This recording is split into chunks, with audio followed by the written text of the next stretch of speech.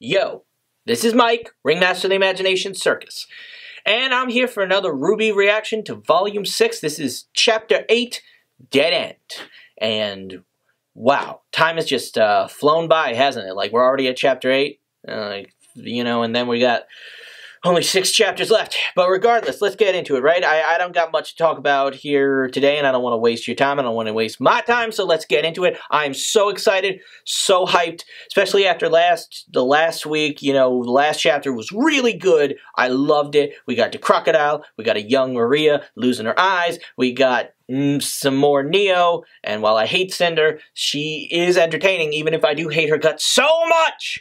But, and then of course, the reveal of one of the Arc sisters in her current state. We also got the others in a past state thanks to a certain family photo. But regardless, enough recap, enough me talking about what was great about the last episode. Let's see what's great about this episode. And three, two, one, play.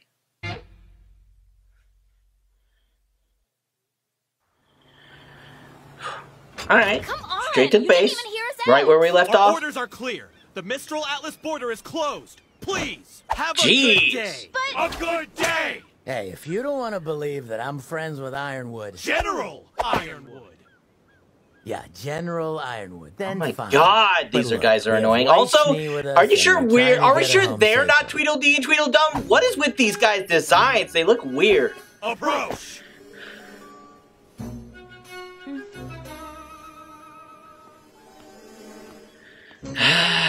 I mean, I guess w- what else can they do at this point? Very well. You may speak with our commanding officer. we will fetch her at once.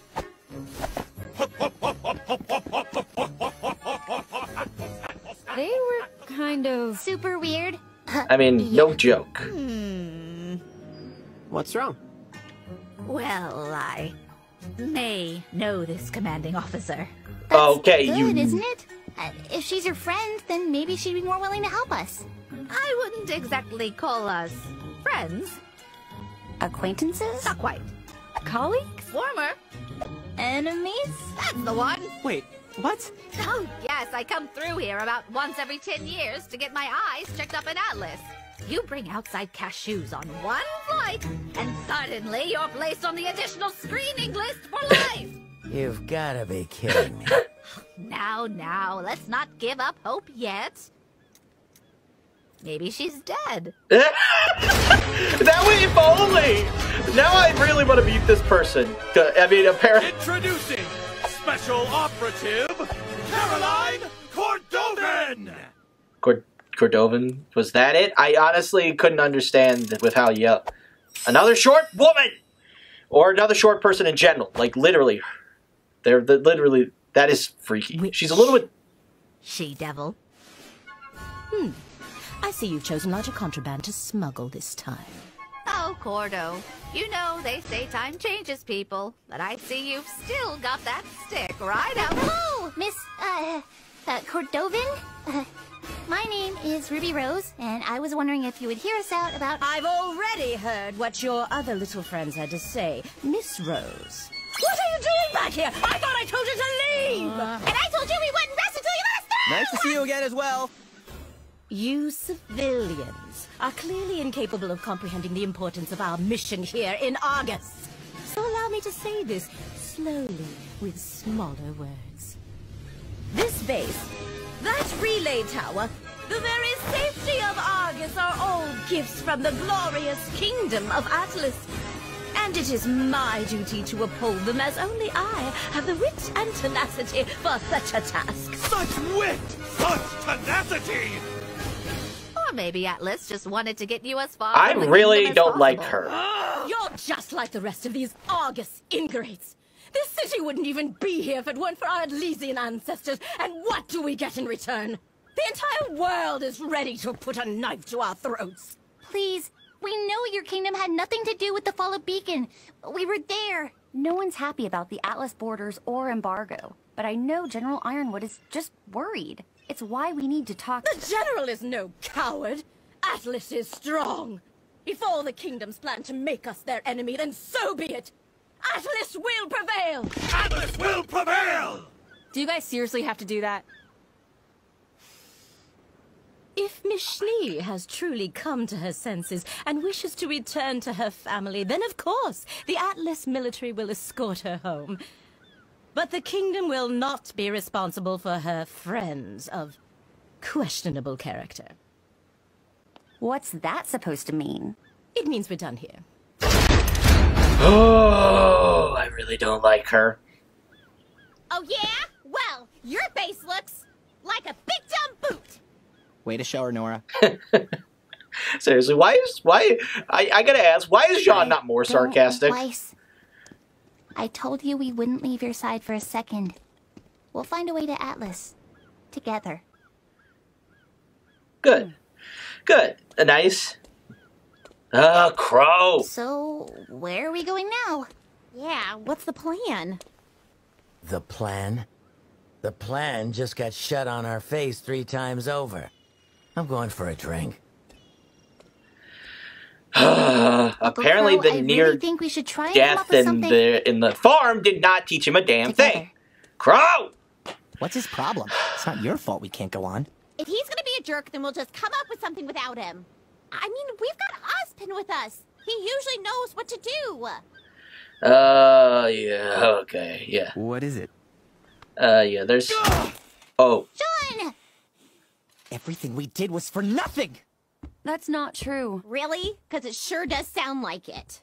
I am. If Salem can't be killed, then how are we supposed to win this?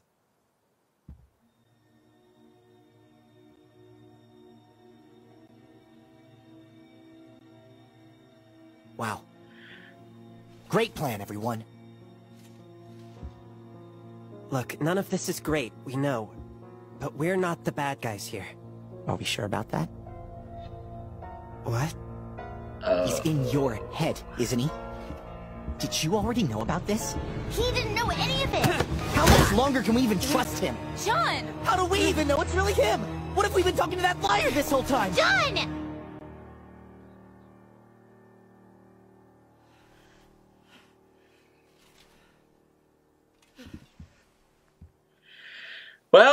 That gets that scene out of the way. So that's pretty much the whole intro.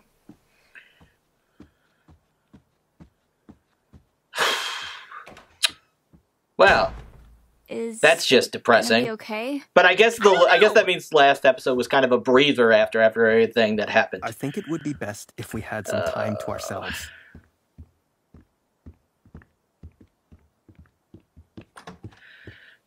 Well, crud. Maybe we could all use some space.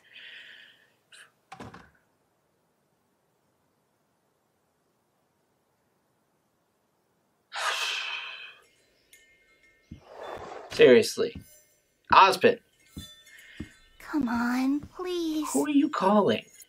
Oh, of course. Uh, where are you? Okay, You then. know, I came out here to avoid the yelling. Sorry. it's a very pretty garden. the others I'll went get, to get food for tonight. Why not especially since them? it's I don't know. I don't know anything. What do I tell Jaune and his team when we don't even have a plan? The Qrow's out drinking, the husband hasn't come back, and even if he did, I don't know if I could trust him. And there's always Jin, but we only have one more question we can ask her. Yep. I feel like I'm letting everyone down. You know, you don't give yourself enough credit. Oh, thanks. That wasn't a compliment. Uh, what? If I have to explain it to you, it'll just defeat the purpose. But if you're tired of not knowing anything, how about we discuss those eyes of yours? Oh, all right then. Oh, uh, yes, ma'am. That I would be really great, actually. Sit back down for Pete's sake. Let's start with what you do know. Tell me.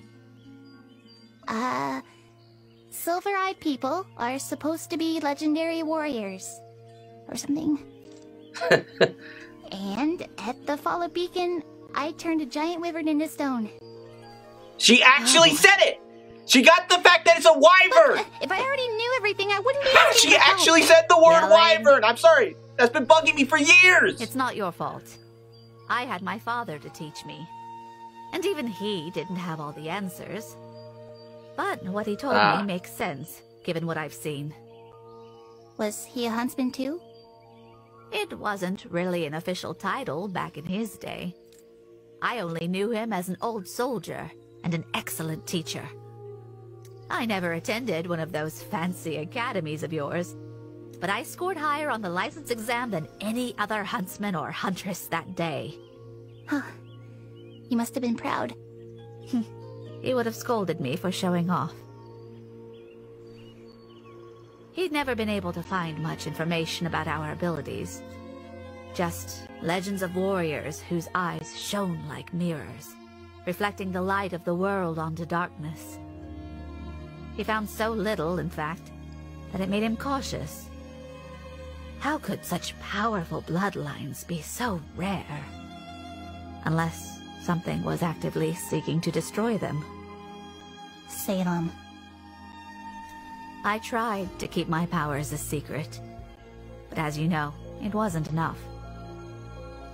I owe my life to my training and my semblance. At the end of the day, those are still your most powerful tools. What is your semblance?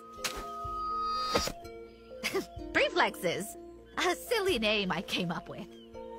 Hard to explain, but I can sense everything better than most and react to attacks almost before they happen.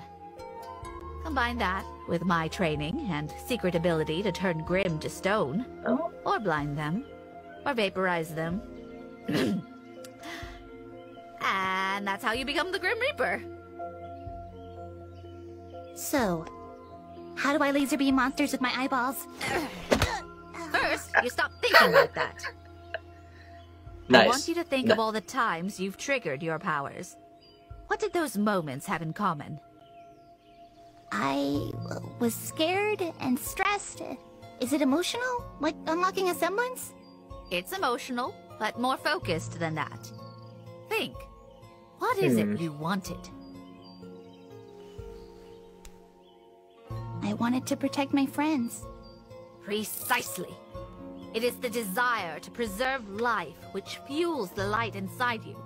And make no mistake, it is light. Preservation is an extension of creation, or at the very least, an enemy of destruction. The creatures of Grimm were made by the god of darkness, but your light comes from his brother. How do you know that? I always knew how to use the light, but never why it only worked on the Grimm. Then Jin showed us her vision. Were you paying attention?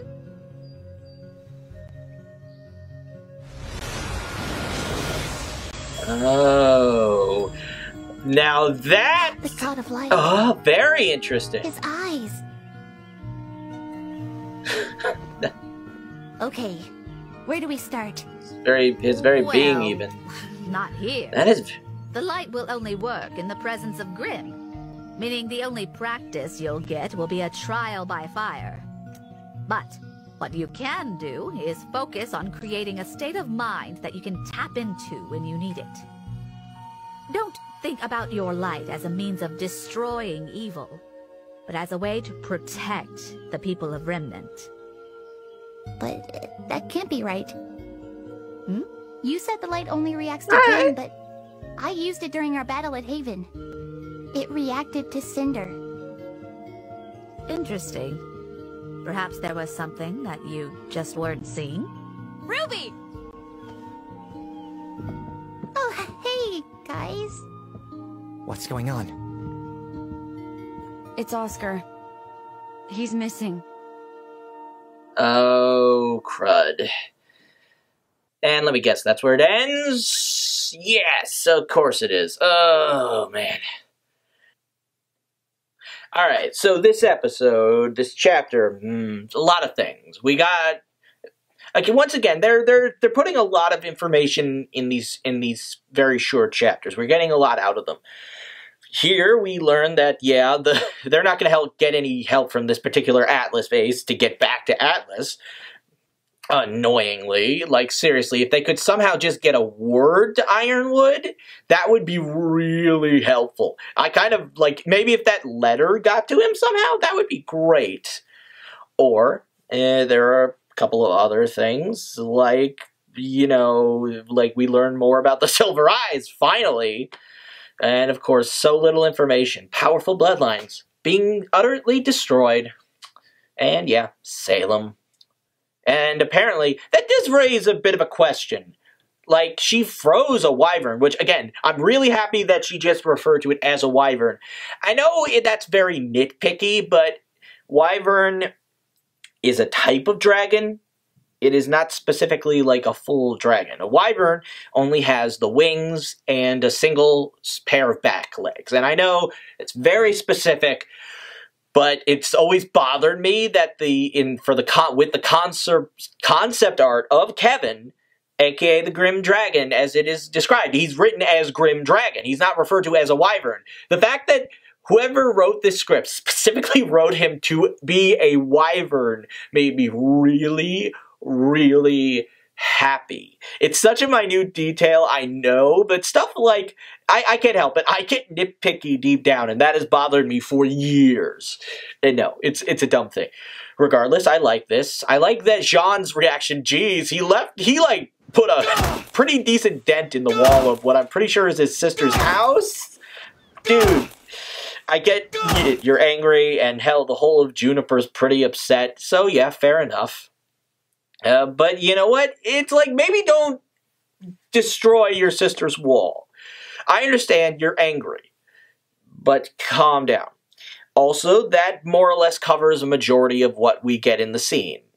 Or rather, the intro. We everything we get in the intro has been more or less covered, at least the literal stuff, as it were. And as for the stuff that's a little bit more metaphorical, well, we learn more about Silver Eyes thanks to Maria, as we all more or less expected, then sure. And as for uh, like like Qrow seems to be going down a spiral that's getting worse and worse. And I don't know, he's gonna needs a huge wake up call. I thought maybe the farm would be that. But I guess that wasn't it. You know, he seemed kind of okay, but I guess this didn't help in his, like, you know, knee jerk reaction is go get a drink. It's just really irritating. Regardless, I liked this episode. I didn't like it as much as the last two, but then this one just kind of frustrated me a bit. It's great setup, and like I said, I during the reaction, I feel like this the last week's chapter was pretty much a breather before we got to the really heavy stuff and now we've got oscar on the run the big thing to take away from this outside of the all the reveal of all the important details concerning the silver eyes like those are some very important details concerning the Silver Eyes. And I really find it interesting that they are only supposed to work not only on the Grimm, but in the presence of Grimm. And that the light specifically came from the god of light. That's interesting to say the least. It does bring up some serious questions about why people have silver eyes to begin with, but okay. Mm, maybe we'll figure that out. Maybe it's not important. Who knows? So, but I just, I don't know. I don't know. Uh, it, but it does bring up a question.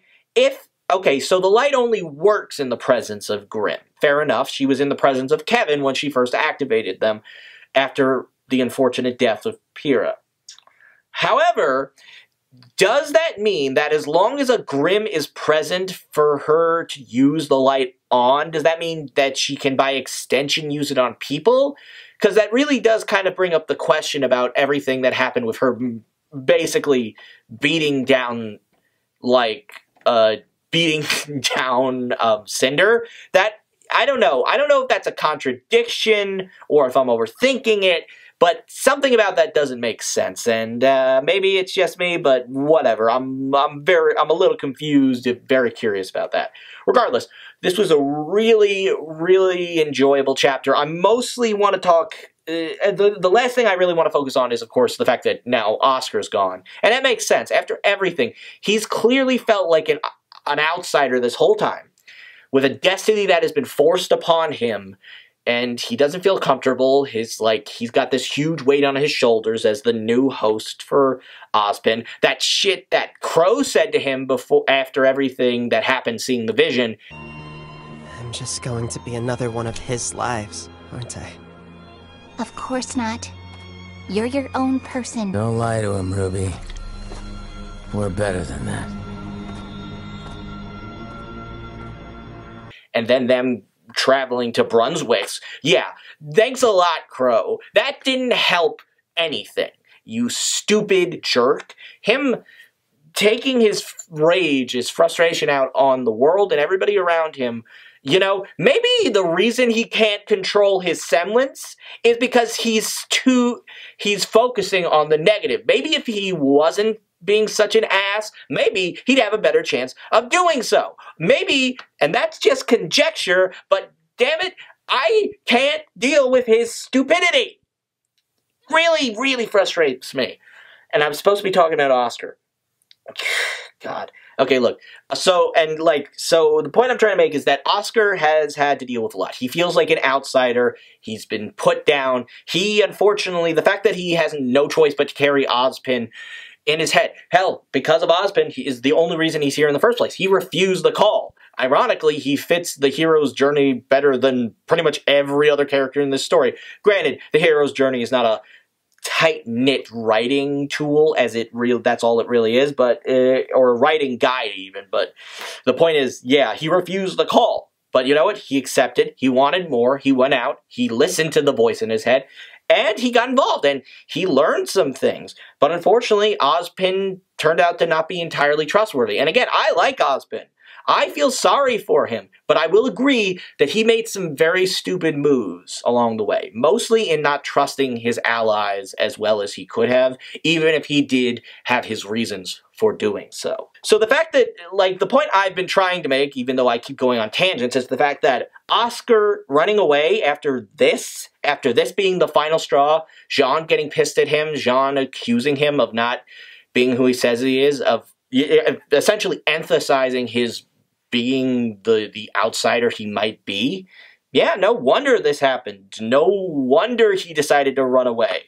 Really, and honestly, and uh, and outside of that fact, this just emphasizes something else I've been suspecting since the beginning of the volume. It took us an entire volume just to get to Haven after leaving at the end of volume 3. It took us the entirety of volume 4 to get to Mistral and Haven.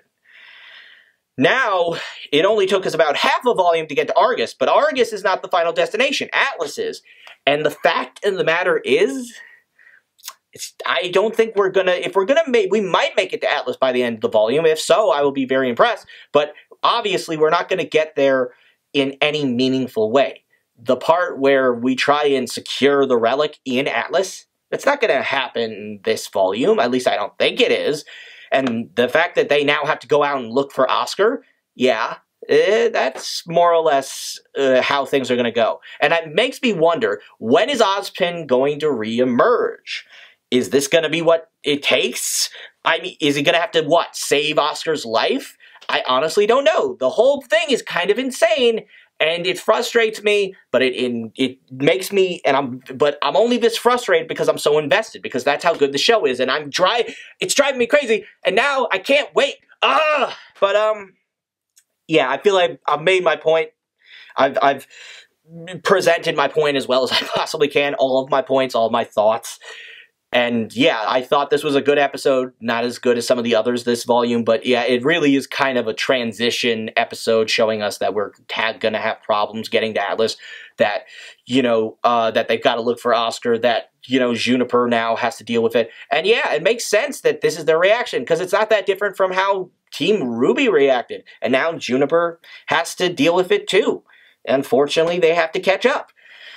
And uh, yeah, it shows that things will just never be easy. And it, honestly, if we, it wouldn't really be a very good story if it was. So yeah, this is Mike, Ringmaster of the Imagination Circus. This was a pretty good episode. I cannot wait. Thank you. And if you feel so inclined, please come back for more.